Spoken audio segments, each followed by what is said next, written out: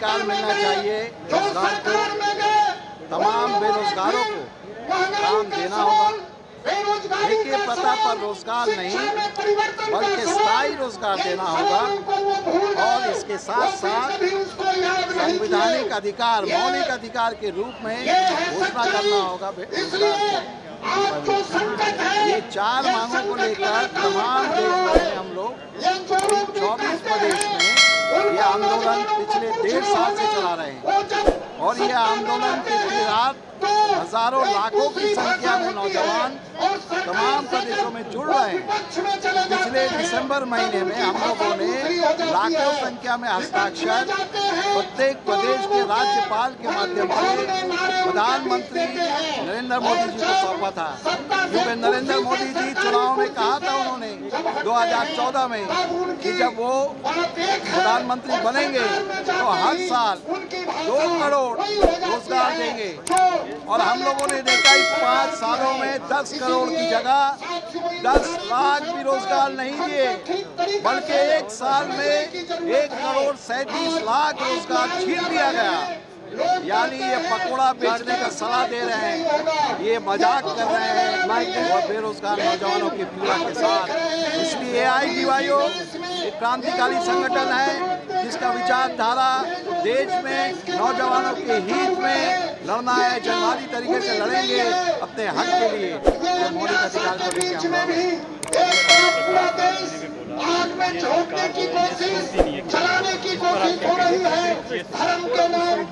हम लोग रोज़गार के मांग को लेकर आज संसद में प्रदर्शन कर रहे हैं। मंडी हाउस से हज़ारों की संख्या में तेईस राज्यों से ये जुलूस निकला है नौजवानों का और ये मांग है कि तमाम बेरोजगारों को रोज़गार देना होगा।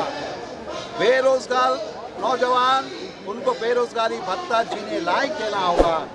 रोज़गार का अधिकार, मौलिक अधिकार घोषणा करना होगा। और चौथा मांग है कि ठेके पे नहीं, स्थायी रोज़गार देना होगा। क्योंकि ये मांग नरेंद्र मोदी, प्रधानमंत्री 2014 में अपने चुनावी भाषण में कहा था कि हर साल दो करोड़ लोगों को नौकरी देंगे, दो करोड़ नौजवानों को देंगे। यानी पाँच साल में उनका वादा के मुताबिक दस करोड़ रोज़गार मिलना चाहिए था। लेकिन वास्तव हकीकत क्या है? आंकड़ा बताता है कि सिर्फ़ एक साल में एक करोड़ सैंतीस लाख नौजवान बेरोजगार हो गए। क्यों हुए इसका मौलिक कारण उन्होंने नहीं बताया। उल्टा नरेंद्र मोदी जी ने कहा कि पकोड़ा भी एक उद्योग है, पकोड़ा बेचकर रोज़गार कमाओ। ये नौजवान, बेरोजगार नौजवान के पीड़ा के साथ मज़ाक था। इसलिए आई डी इसके साथ प्रतिवाद करती है। पूरे देश भर में डेढ़ साल से हम लोग लाखों की संख्या में नौजवानों का मेहनत करने वाले नौजवानों का हम लोगों ने हस्ताक्षर लिया है। और ये हस्ताक्षर प्रत्येक प्रत्येक राज्य के गवर्नर के माध्यम से प्रधानमंत्री को दिया गया है। उसी के कड़ी में ये संसद मांग है सर मेरा आपसे ये क्वेश्चन होगा। आप इलेक्शन आ रहा है। इलेक्शन के टाइम पर ये बड़े बड़े प्रदर्शन किस तरह के हो रहे हैं। अगर सरकार इलेक्शन से पहले आपकी माँ जो बात है मान लेती है तो क्या आप उस चीज़ पर अलग आप एक चीज़ ख्याल रखिएगा कि सन उन्नीस सौ बावन से चुनाव हो रहा है और आज तक जितना भी चुनाव हुआ है, जो भी सरकार केंद्र में बैठी है या राज्य में बैठी है किसी ने भी रोज़गार का समस्या समाधान नहीं किया। हाँ ये वादा ज़रूर किया है कि नौजवानों को रोज़गार देंगे लेकिन चुनाव जाते ही नौजवानों को भूल गए हैं। इसलिए ये हमारी जो मांग है तमाम बेरोजगारों को नौ, नौकरी देना होगा। आपको मालूम है कि 123 करोड़ की आबादी में 70 करोड़ लोग बेरोजगार हैं। 70 करोड़ को रोज़गार देना होगा। जो सरकार ये मांग पूरा कर सकती है, वादा नहीं, जुमला नहीं, हकीकत में मांग पूरा करेगी, उसके लिए हम लड़ेंगे। इसलिए साथियों, ये चुनावी लड़ाई नहीं है। ए आई डी वाईओ ने चुनाव को केंद्र करके ये सामने प्रदर्शन नहीं किया है। ये प्रदर्शन है नौजवानों के संघर्ष का, अपने अधिकार के लिए लड़ रहे हैं नौजवान, उसको संगठित किया है।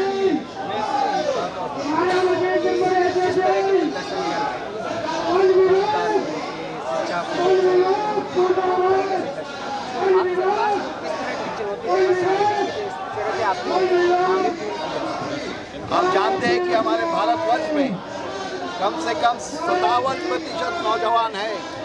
आने वाले दिनों में नौजवानी एक मौलिक शक्ति है, जो तमाम सरकार को बदल सकती है, सिर्फ़ सरकार नहीं बदल सकती, समाज को बदल सकती है, क्रांति ला सकती है। इसलिए नौजवानों को भटकाने के लिए नशीले पदार्थ, शराब का मुहैया करा रही है सरकार रोज़गार नहीं दे रही है। अश्लीलता को मुहैया करा रही है इंटरनेट के ज़रिए में। हम इनके विरोध में लड़ रहे हैं। एक वैचारिक संकल्प को लेकर हमारे विचार हैं। इस युग के महान क्रांतिकारी कॉमरेड शिवदास घोष की विचारधारा, उस क्रांतिकारी विचारधारा को लेकर नौजवान को सांस्कृतिक तौर पर लेस करते हुए लड़ाई हम लड़ रहे हैं। ये लड़ाई सिर्फ़ चुनाव से नहीं होगा दोस्तों, ये लड़ाई एक सामाजिक परिवर्तन के साथ जुड़ा है। बेरोजगार का समस्या भी सामाजिक परिवर्तन के साथ जुड़ा है। जब तक समाज पूंजीवादी व्यवस्था बदलता नहीं है, बेरोजगार का समस्या मौलिक रूप से समाधान नहीं होगा। लेकिन सरकार तो रही है, सरकारी जॉब तो कहीं नहीं हम लोग प्राइवेटाइजेशन का घोर विरोध करते हैं।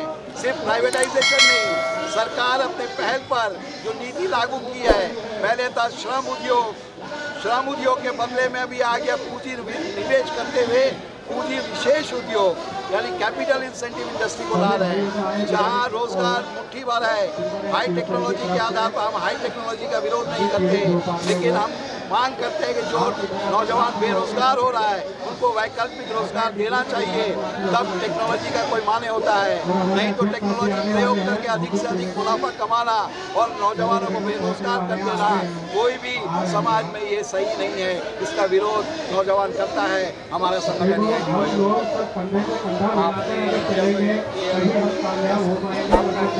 इसका मकसद आगे-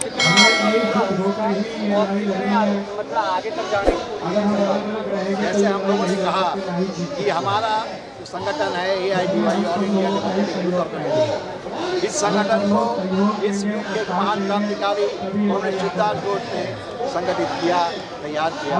उनकी विचारधारा के आधार पर ये आत्म संगठन और युवा संगठन तैयार हुआ।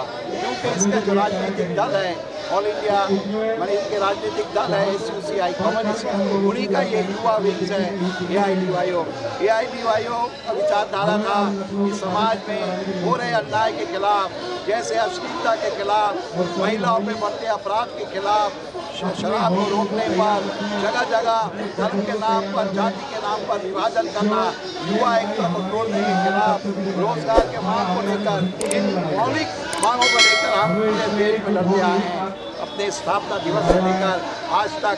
और ये लड़ाई हम समझते हैं पूरा तभी होगा जब समाज में मौलिक मूल रूप से परिवर्तन होगा। इसीलिए ए आई डी वाई लड़ाई भी उसी मौलिक लड़ाई के साथ जुड़ा हुआ है और ये लड़ाई जन आंदोलन के रास्ते ही होगा। सर अगर आपका ये वाला जो आंदोलन पूरी तरह से सफल नहीं हो पाता सरकार इसकी बात नहीं सफल नहीं हुआ कैसे आप कह सकते सफल हुआ? इसलिए सफल हुआ कि आज देखिए जंतर मंतर में सरकार ने हमें यहाँ के एस एच ओ ने पुलिस ने तय किया था कि ये जुलूस नहीं हो पाएगा। लेकिन आज उन्हें देने पर वादे किया। परमिशन देने पर मेरे कहने का मतलब ये नहीं था। मेरा कहने का मतलब अगर सरकार ने ये बातें मानी नहीं रोज़गार देने अगर सरकार अगर नहीं मानती है तो हम इससे भी बड़े लड़ाई पर जाएँगे। प्रत्येक राज्य में प्रत्येक ज़िले स्तर पे ये लड़ाई को जमीनी स्तर पर ले जाएँगे। नौजवानों को इकट्ठा करेंगे। बिना जात धर्म के विचार पर हम एक लड़ाई को छेड़ेंगे। जहाँ धर्म हमारा बाधा नहीं होगा। जहाँ जात हमारा बाधा नहीं होगा। भाषा हमारा बाधा नहीं होगा। हर जगह हम ये लड़ाई छेड़ेंगे। और ये लड़ाई हम तब तक समाप्त नहीं करेंगे जब तक हमारी मांग सर प्रकाश राज जी ने भी जो एक कहा कि ये सरकार बिल्कुल गूँगी बहरी है सुनती नहीं है किसी की। इसको आप कैसे देखते हैं? ये बात सौ फ़ीसदी सच है सौ हंड्रेड परसेंट सही है। ये सरकार सिर्फ़ नहीं इससे पहले भी जो सरकार यूपीए सरकार थी यूपीए सरकार की जो नीति है वही नीति भाजपा सरकार एनडीए सरकार मान ला रही है। इसलिए बेरोजगार यही से उत्पन्न हो रहा है। ये नीति में कोई मौलिक परिवर्तन नहीं हुआ चुनाव के ज़रिए।